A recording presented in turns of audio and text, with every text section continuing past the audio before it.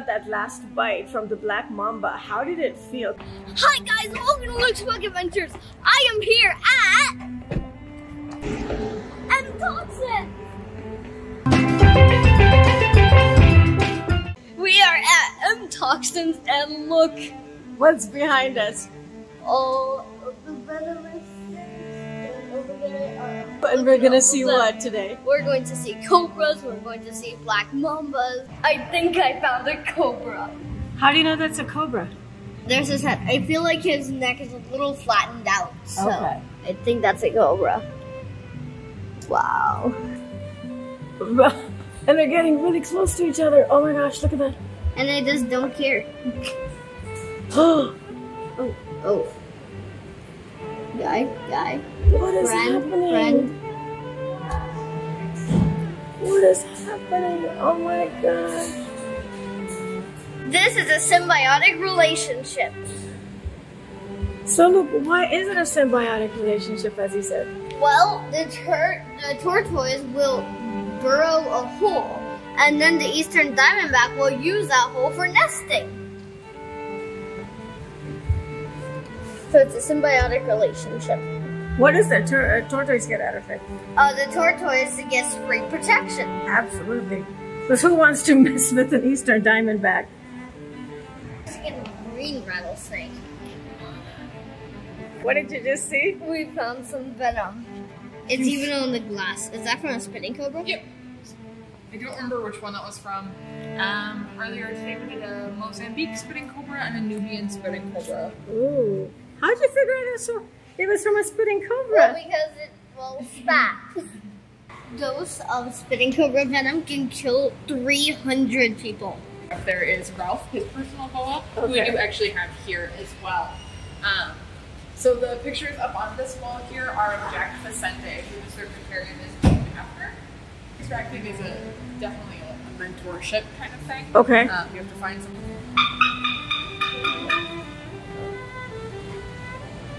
Step up. Here, friend.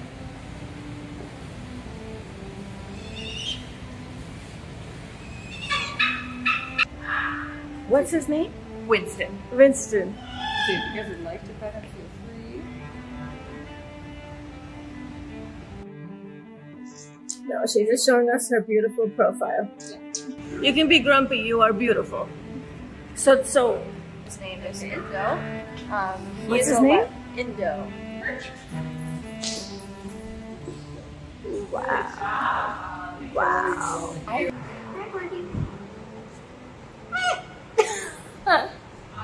How did you get into venomous snakes? This is not a joke. The, I was obsessed with insects and turtles, and I kept praying mantises. We used to go and take order the uh, egg sacs. Yes, online yes, And hatch them ourselves and release them in our Yeah. gardens. And I would always keep a couple and Oh. raise them oh. up. So I had turtles, turtles, turtles, turtles, and my cousin had snakes. Yeah, So I started to learn snakes from her.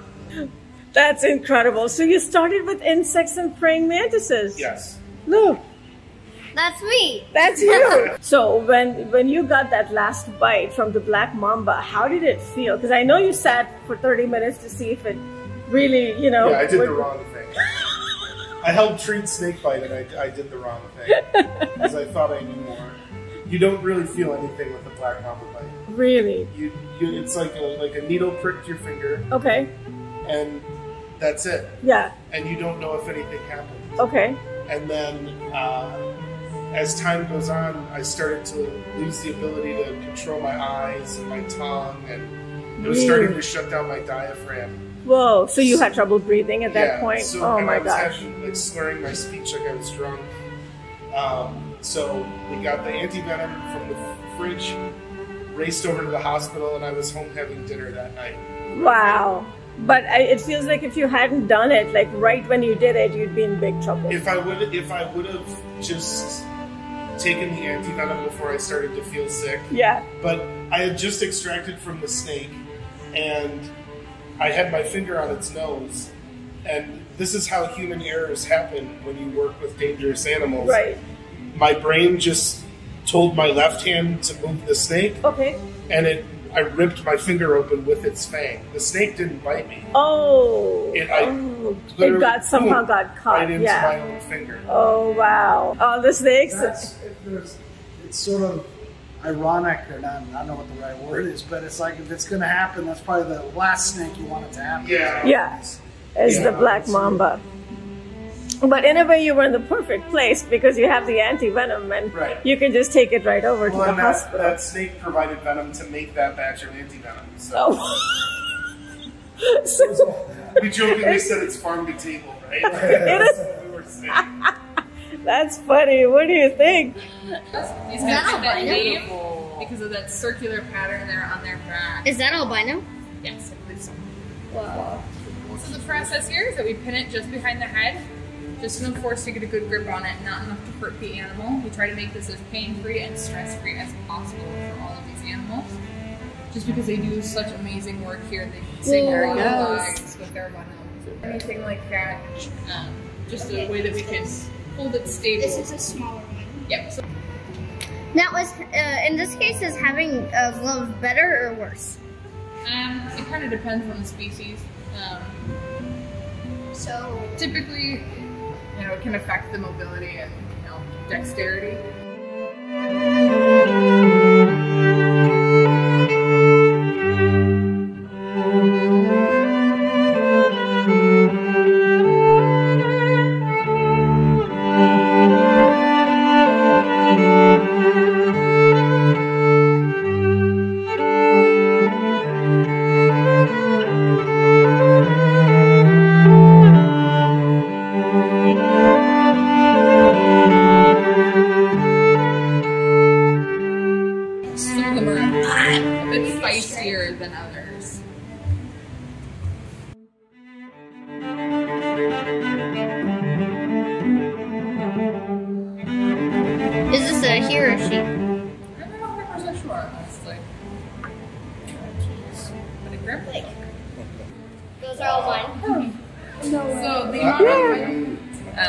Amount of venom in here is about 350 lethal doses. Whoa!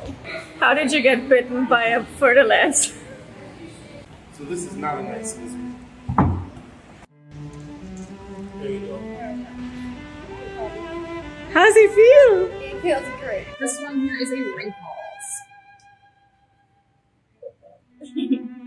I'm surprised that I'm not trying to be straight. So small. Look at the stinger. Did you see the stingers? Yeah. Thousand venom extractions. I've been bitten three times. So the most recent one was a black mamba, um, then a fer-de-lance, and a really rare snake called a stiletto snake. They're from Africa, um, and there's no antivenom for them. So they had to do really, really horrible pain management for that bite. This is black widow antivenom. What- So moving about 3,500 black widows here From where? from an undisclosed location. Yeah.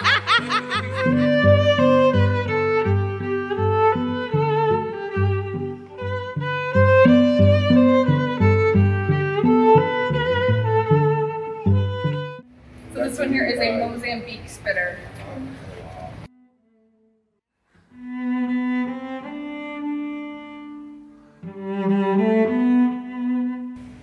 Guys, here's where you need to put your sunglasses on if you come across one of these in the wild. Why?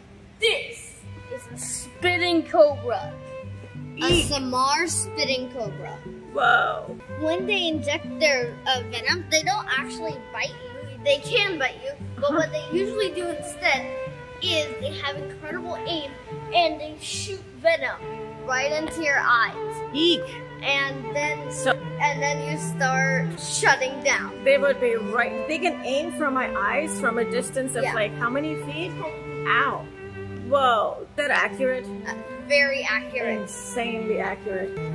Your eyes would burn like crazy and your entire body would just shut down and then you would fall to the ground. You would definitely need to go to the hospital ASAP. As soon as possible. Look at how beautiful its colors are. Yeah, beautiful but deadly.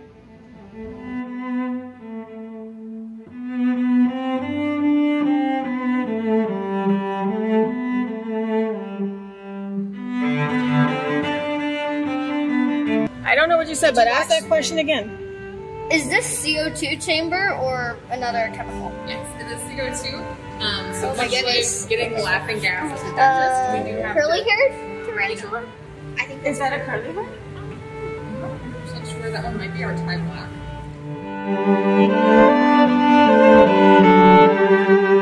And then for tarantulas, can you only extract from the females? This is a good question. I'm not 100% sure.